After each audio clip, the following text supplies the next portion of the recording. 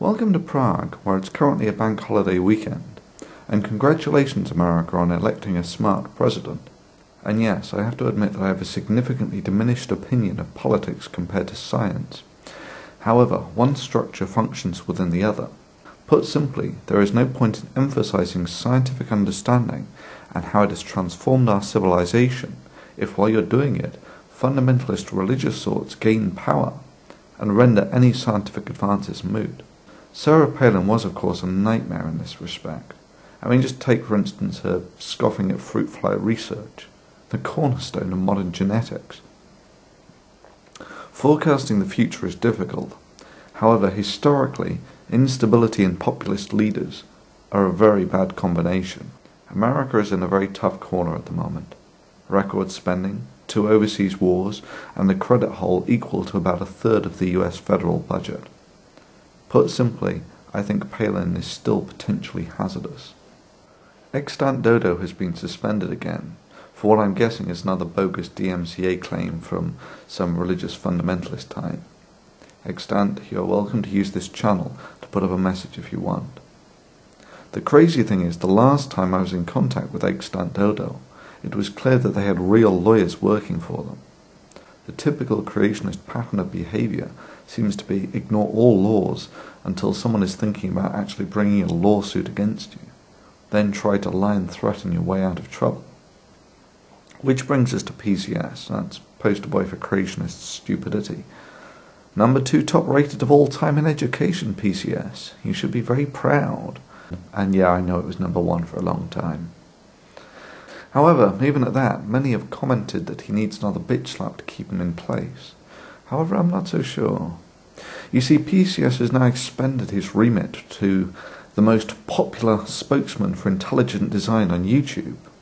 God made the heavens and the earth, and uh, you're going to make a very fine creationist one day if you use your intellect. You know, the reason they call it intelligent design is because the people who believe it are intelligent.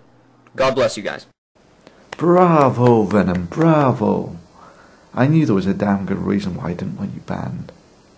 I can assure you that while Poster Boy for Creationist Stupidity's ego will be positively soiling his breeches with delight at this title, the Discovery Institute, that's the hub of the intelligent design movement, will have gone white with fear. You see, the whole of the intelligent design movement was based around trying to rephrase creationism without any mention of God. God made the heavens and the earth, and uh, you're going to make a very fine creationist one day if you use your intellect. You know, the reason they call it intelligent design is because the people who believe it are intelligent. God bless you guys. Fantastic. PCS has essentially blown up the house of cards that was intelligent design. Well, at least within the media window of YouTube. Having said that, intelligent design has sort of been a moot issue for the last several years, since its humiliating rout at the Dover trial, where the judge found it to be just a rewording of creationism and based in religion and not science. However, PCS joining their cause is certainly fantastic news. As for his recent little spat with Goat, where PCS essentially goads and outrageously misquotes Goat until he throws up his hands in despair, then claims Goat is attacking his personality. So, what is this guy's defense to these claims? You are a smart person, Sean. It's not uh, a lot of atheists would like to think that you're just really, really, really stupid. What it is is you're really, really dishonest. You are a bad person. You are a bad person. You are a bad person. Attacking my character instead of responding to the points, that's called an ad hominem attack. PCS, I think the ship has sailed on your ability to play the high moral ground card. I mean, we all know that you're borderline psychotic. if not four-star batshit crazy. Thunderfoot, are you trying to blackmail me? Thunderfoot, Thunderfoot, are you, are you trying to blackmail me? But even you must realize that calling you a liar is like calling shit smelly. I mean, remember this?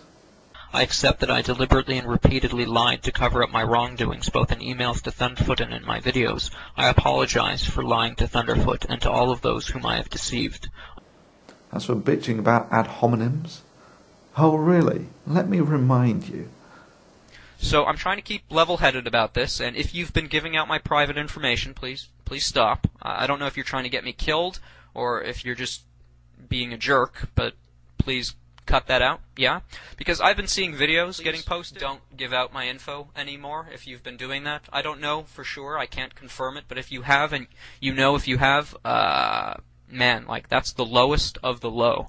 That's like that's like scary, scary stuff. 17th of September, I speculated that Thunderfoot had maliciously disseminated my personal information, and that this action might result in the death of myself or my family. I now accept that Thunderfoot has never disseminated any personal information relating to me or anyone else. Further, I accept that it would have been impossible for him to have done so as he's only ever received my first and my last name from YouTube, and that he intentionally did not request any further details. I accept that my speculation was an abominable attempt to vilify the character of the man who I had filed baseless DMCA infringement claims against. I apologize to Thunderfoot for this. As for me, I'm currently earning my daily crust at the moment, and don't have much time for this sort of thing. Indeed, the only reason I managed to put these videos together at all is because it's a bank holiday weekend here in the Czech Republic and the weather's not been particularly nice. Got some neat ideas for the new year though.